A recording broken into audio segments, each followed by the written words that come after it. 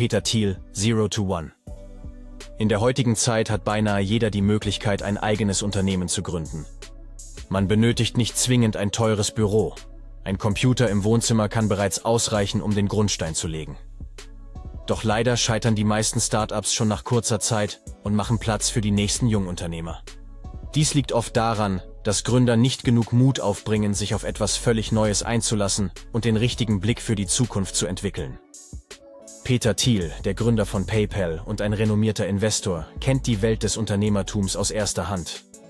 In seinem Buch zeigt er, wie sie ein erfolgreiches Unternehmen praktisch aus dem Nichts schaffen können, von 0 auf 1. Daher der englische Buchtitel Zero to One. Er offenbart ihnen, wie sie abseits ausgetretener Businesspfade Fuß fassen können. In den kommenden Abschnitten dieser Zusammenfassung werden Sie erfahren, warum Monopole tatsächlich förderlich für Innovationen sein können, warum es nicht ratsam ist, die Technologie von Kopiergeräten weiterzuentwickeln und warum es für Unternehmensgründer durchaus üblich ist, ein breites Wissen zu besitzen, ohne dabei in die Irre zu gehen. Kernaussage 1. Die Zukunft erkennen und gestalten erfordert, die Gegenwart mit einem kritischen und innovativen Blick zu betrachten. Stellen Sie sich vor, Sie könnten ins Jahr 2100 reisen. Was würden Sie sehen? Wie stellen Sie sich die Zukunft vor? Die Zukunft ist mehr als nur eine zeitliche Spanne, sie definiert sich durch den Fortschritt, der in dieser Zeit geschieht. Dieser Fortschritt kann in zwei Hauptkategorien unterteilt werden. Horizontaler und vertikaler Fortschritt. Horizontaler Fortschritt ist die Weiterentwicklung und Verbreitung bereits bestehender Ideen, angetrieben durch die Globalisierung, die es ermöglicht, Ideen weltweit zu verbreiten. Ein Beispiel hierfür ist die Massenproduktion und weltweite Verbreitung von Mobiltelefonen. Im Gegensatz dazu basiert vertikaler Fortschritt auf Innovationen, bei denen etwas völlig Neues geschaffen wird, das zuvor nicht existierte. Ein gutes Beispiel für vertikalen Fortschritt wäre die Entwicklung eines völlig neuen Smartphones.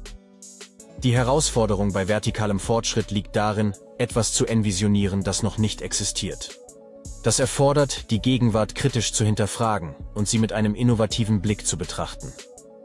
Peter Thiel betont die Bedeutung dieser Fähigkeit und verlangt von Bewerbern in Vorstellungsgesprächen, eine berühmte Aussage zu nennen, der sie kritisch gegenüberstehen. Dieser Ansatz zielt darauf ab, Menschen dazu zu befähigen, außerhalb etablierter Konventionen zu denken, um die Zukunft zu gestalten und zu verändern. Die zentrale Botschaft dieser Kernaussage ist, dass die Fähigkeit, die Gegenwart in Frage zu stellen und innovative Lösungen zu entwickeln, der Schlüssel zur Gestaltung der Zukunft ist. Kernaussage 2 Um die Zukunft zu gestalten, ist es entscheidend, sich auf eine klare Vision zu fokussieren und alles daran zu setzen, sie zu verwirklichen. Es ist nicht notwendig, über eine Kristallkugel zu verfügen, um innovativ zu sein und sich auf die zukünftigen unbekannten Umstände vorzubereiten. In der heutigen Zeit herrscht oft die Vorstellung vor, dass die Zukunft unklar und vage ist. Viele Menschen glauben, dass es am besten ist, breit gefächert und vage für eine ungewisse Zukunft zu planen. Peter Thiel betont jedoch, dass diese breite Herangehensweise oft ineffektiv ist, da es einfach zu viele Möglichkeiten gibt. Stattdessen rät er dazu, die Anstrengungen auf eine klare, fokussierte Zukunft auszurichten.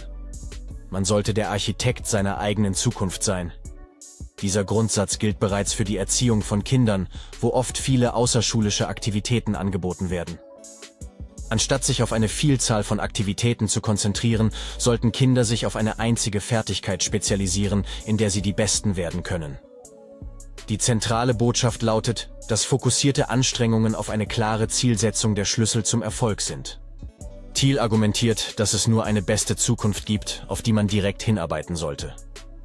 Dies liegt daran, dass die Bedingungen für erfolgreiche Startups begrenzt sind. Es gibt nur einen besten Markt für ein Produkt und nur einen perfekten Zeitpunkt, um es auf den Markt zu bringen. Daher müssen kluge Entscheidungen getroffen werden, um den richtigen Weg in die Zukunft zu wählen. Dies erfordert kreatives und unkonventionelles Denken, um die richtige Richtung zu erkennen und zu verfolgen. Kernaussage 3. Monopole können gut für Unternehmen und die Gesellschaft sein. Der Begriff Monopol ruft oft Assoziationen von Unternehmen hervor, die unfaire Praktiken anwenden und den Wettbewerb behindern. Peter Thiel argumentiert jedoch, dass Monopole nicht zwangsläufig negativ sind. Tatsächlich können Monopole Innovationen vorantreiben und positive Auswirkungen auf die Gesellschaft haben. Wenn ein Unternehmen eine Monopolstellung erreicht, bedeutet das nicht zwangsläufig, dass es den Wettbewerb auf unfaire Weise behindert. Es könnte einfach bedeuten, dass die Geschäftsstrategie des Unternehmens überlegen ist und andere Unternehmen daher nicht mithalten können. Ein weiterer Weg, um ein Monopol zu erreichen, besteht darin, etwas völlig Neues zu schaffen, das von anderen Unternehmen nicht leicht kopiert werden kann. Diese einzigartige Eigenschaft macht das Unternehmen zum Monopol. Thiel verweist auf Google als ein Beispiel für ein solches Monopol, da es bis ins 21. Jahrhundert praktisch keine Konkurrenz auf dem Gebiet der Internetsuchmaschinen hatte. Dies mag für andere Unternehmen enttäuschend sein, aber es hat auch zu Fortschritten und Innovationen im Bereich der Suchtechnologie geführt. Monopolunternehmen können sogar für die Gesellschaft insgesamt von Vorteil sein, da sie den Anreiz für andere Unternehmen schaffen, bessere Technologien zu entwickeln, um das dominante Unternehmen irgendwann zu übertreffen.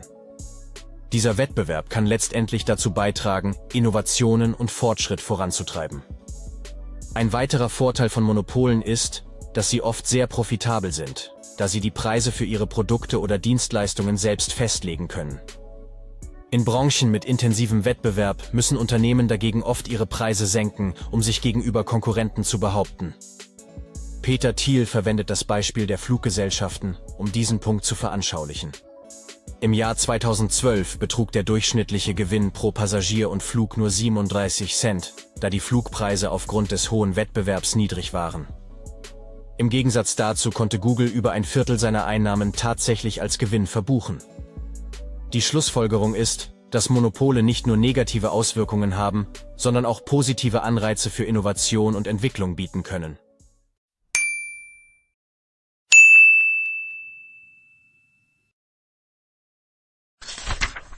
Kernaussage 4. Erfolgreiche Unternehmen benötigen Geheimnisse, die nicht kopiert werden können. In einer hochtechnologisierten Welt könnte man meinen, dass es keinen Raum mehr für vertikalen Fortschritt und neue Ideen gibt.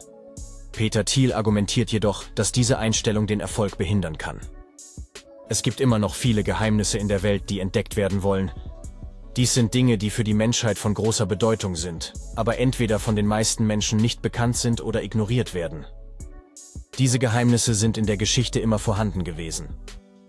Ein Unternehmensgeheimnis kann beispielsweise eine neuartige Technologie sein, die besser ist als die der Konkurrenz. Mit solch einem Geheimnis kann ein Unternehmen schnell zur Marktführung aufsteigen und in eine Position gelangen, in der es schwer angreifbar ist. Es ist wichtig, nach solchen Geheimnissen zu suchen, da dies der Schlüssel zum vertikalen Fortschritt und zur Differenzierung von der Konkurrenz ist. Andernfalls trägt man nur zum horizontalen Fortschritt bei und bleibt einer von vielen. Hewlett Packard wird als Beispiel für ein Unternehmen angeführt, das in den 90er Jahren führend in innovativen Technologien war und regelmäßig innovative Produkte auf den Markt brachte. Nach der Jahrtausendwende hörte das Unternehmen jedoch auf, solche Geheimnisse zu verfolgen und innovative Produkte zu entwickeln. Dies führte zu einem erheblichen Rückgang des Marktwerts. Die Botschaft ist, dass Unternehmen auf die Jagd nach unentdeckten Geheimnissen gehen sollten, um wahrhaft erfolgreich zu sein und möglicherweise ein Monopol zu schaffen. Kernaussage 5. Ein erfolgreiches und profitables Unternehmen benötigt Jahre, um zu wachsen. Monopolunternehmen mögen auf den ersten Blick wie Giganten erscheinen, die schon immer existiert haben, aber jede Firma hat einmal klein angefangen. Dies gilt insbesondere für den Profit. Es kann Jahre dauern, bis ein Startup tatsächlich profitabel wird. Dennoch kann ein Unternehmen, auch wenn es anfangs noch keinen Gewinn erzielt, bereits einen erheblichen Unternehmenswert haben. Dieser Wert basiert auf den erwarteten zukünftigen Einnahmen des Unternehmens. Ein Beispiel dafür ist PayPal im Jahr 2001, als es noch keinen Gewinn erzielte. Dennoch wurde der geschätzte Unternehmenswert von Peter Thiel auf die erwarteten Einnahmen in den folgenden zehn Jahren gestützt. Die Lektion hierbei ist, dass man nicht erwarten sollte, dass das Unternehmen von Anfang an an die Spitze gelangt. Stattdessen ist Geduld und Ausdauer erforderlich, um im Laufe der Zeit profitabel zu werden. Um ein Monopolunternehmen zu werden, sollte man zunächst in einer eng definierten Nische beginnen und versuchen, in diesem Bereich der stärkste Akteur zu werden. Sobald man in dieser Nische ein Monopol erreicht hat, kann man in breitere Märkte expandieren. Ein Beispiel dafür ist Jeff Bezos, der Gründer von Amazon. Er begann bescheiden, indem er Bücher verkaufte und erweiterte dann schrittweise sein Geschäft auf andere Kategorien wie CDs und Videos, bevor Amazon zu einem der größten Online-Einzelhändler der Welt wurde. Obwohl es den Anschein haben mag, dass Amazon über Nacht erfolgreich wurde, war es in seinen Anfangsjahren weit davon entfernt. Kernaussage 6 Startups benötigen ein starkes Fundament, das aus einem geeigneten Team, einer gesunden Unternehmenskultur und klaren Zielsetzungen besteht. Wie jedes erfolgreiche Gebäude benötigt auch ein Unternehmen ein festes Fundament, auf dem es wachsen und langfristig gedeihen kann. Die Anfangsphase der Unternehmensgründung ist daher von entscheidender Bedeutung. Das erste Schlüsselelement für ein starkes Fundament sind die richtigen Menschen für dein Team. In Startups sind die Teams oft so klein, dass jeder Mitarbeiter eine entscheidende Rolle spielt. Peter Thiel untersucht die Fähigkeiten und Visionen der Gründer genau, bevor er in ihre Unternehmen investiert. Er erkennt, wenn persönliche Beziehungen im Gründerteam Schwächen aufweisen. Ein fehlerhaftes Gründungsteam kann das Scheitern eines Unternehmens bedeuten. Ein weiterer wichtiger Aspekt des Fundaments besteht darin sicherzustellen, dass Gründer und Investoren ihre Interessen miteinander in Einklang bringen. Konflikte zwischen Gründern und Investoren können das Wachstum und die Entwicklung eines Unternehmens erheblich beeinträchtigen. Es ist wichtig, dass alle Beteiligten sich frühzeitig über die Ziele und Erwartungen verständigen. Schließlich ist eine gesunde Unternehmenskultur von entscheidender Bedeutung. Eine starke Unternehmenskultur ermöglicht es den Mitarbeitern, effizient und motiviert zusammenzuarbeiten. Sie basiert nicht nur auf Annehmlichkeiten wie Bürospielzeug, sondern vor allem auf den zwischenmenschlichen Beziehungen in einem Unternehmen. Unternehmen wie PayPal haben gezeigt, dass eine positive Unternehmenskultur dazu beitragen kann, dass die Teammitglieder nicht nur erfolgreich zusammenarbeiten, sondern sich auch so gut verstehen, dass sie in der Zukunft neue Unternehmen gemeinsam gründen. Kernaussage 7 eine erfolgreiche Verkaufsstrategie ist entscheidend für den Erfolg eines Produkts oder Unternehmens. Die Vorstellung von Verkaufsstrategien mag oft mit negativen Bildern in Verbindung gebracht werden, wie etwa einem aufdringlichen Tür-zu-Tür-Verkäufer. Dennoch ist der Verkauf eine grundlegende Komponente im Geschäftsbereich. Innovation allein reicht nicht aus, wenn niemand das Produkt oder die Dienstleistung kauft. Ein Produkt kann noch so innovativ sein, aber es wird keinen Erfolg haben, wenn es nicht effektiv verkauft wird. Um Produkte erfolgreich zu verkaufen, ist ein gut durchdachter Vertriebsprozess erforderlich. Dieser sollte die Organisation und die Anstrengungen optimal auf die Zielgruppen abstimmen, um das Produkt bestmöglich zu vermarkten. Die Bewertung des finanziellen Potenzials von Kunden ist entscheidend, um die Ressourcen effizient einzusetzen. In einigen Fällen, in denen große Summen im Spiel sind, kann es erforderlich sein, dass die Geschäftsführung persönlich involviert ist. In anderen Fällen mit kleineren Transaktionen ist ein engagiertes Verkaufsteam die bessere Wahl. Es ist auch wichtig, immer nach neuen und wirksamen Verkaufsstrategien zu suchen. Der Vergleich mit Tom Sawyer, der andere Kinder dazu bringt, seinen Job zu erledigen, zeigt, wie Kreativität und kluge Taktiken eingesetzt werden können, um Kunden für ein Produkt oder eine Dienstleistung zu gewinnen.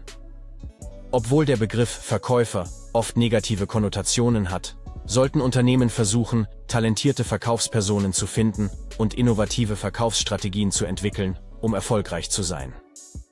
Ein talentiertes Verkaufsteam kann einen erheblichen Beitrag zum Wachstum eines Unternehmens leisten. Kernaussage 8. Firmengründer und ihre eigenwilligen Eigenschaften sind entscheidend für die Vision und den Erfolg eines Unternehmens. Erfolgreiche Firmengründer und Unternehmer weisen oft ungewöhnliche Eigenschaften und Eigenarten auf, diese können von Geburt an vorhanden sein oder sich im Laufe der Zeit entwickeln, oft unter dem Einfluss anderer erfolgreicher Gründer. Diese Sonderlinge und Tüftler spielen eine entscheidende Rolle bei der Gründung und Weiterentwicklung von Unternehmen. Ein herausragendes Beispiel dafür ist das Gründerteam von PayPal, das für seine Eigenheiten und kuriosen Interessen bekannt ist, darunter das Hobby, Bomben zu bauen. Die Eigenwilligkeit und unkonventionelle Denkweise von Gründern sind von großem Vorteil in der Geschäftswelt. Sie sind mehr als nur Gründer. Sie verleihen dem Unternehmen eine einzigartige Vision. Jede erfolgreiche Firma benötigt eine solche Vision, der die Mitarbeiter und Kunden folgen können. Visionäre Unternehmer wie Steve Jobs haben gezeigt, wie entscheidend eine starke Vision für den Erfolg eines Unternehmens sein kann.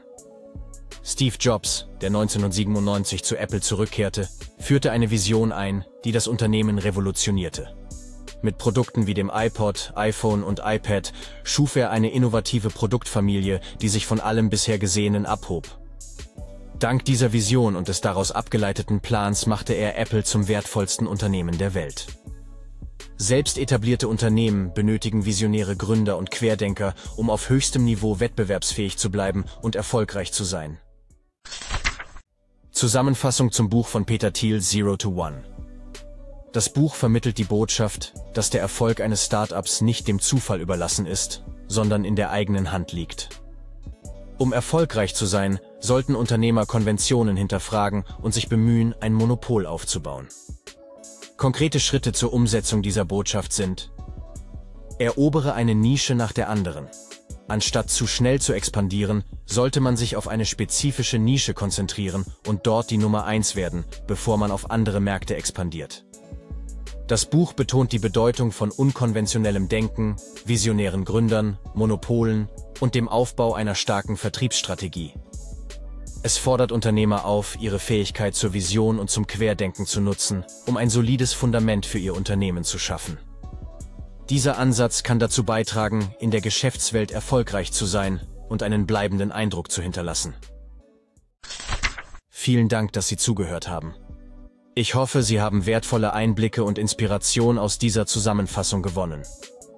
Wenn Ihnen diese Zusammenfassung gefallen hat und Sie mehr spannende Buchzusammenfassungen hören möchten, dann würde ich mich sehr über Ihr Like für dieses Video und Ihr Abo für unseren Kanal freuen. Auf diese Weise verpassen Sie keine unserer kommenden Zusammenfassungen und bleiben immer auf dem Laufenden. Teilen Sie gerne Ihre Gedanken und Einsichten, die Sie mit dem Buch gemacht haben, unten in den Kommentaren mit uns. Teilen Sie Ihre Meinung und lassen Sie uns gemeinsam in einen interessanten Gedankenaustausch eintreten. Nochmals vielen Dank fürs Zuhören und wir freuen uns darauf, Sie beim nächsten Buch wieder hier zu begrüßen. Bis bald!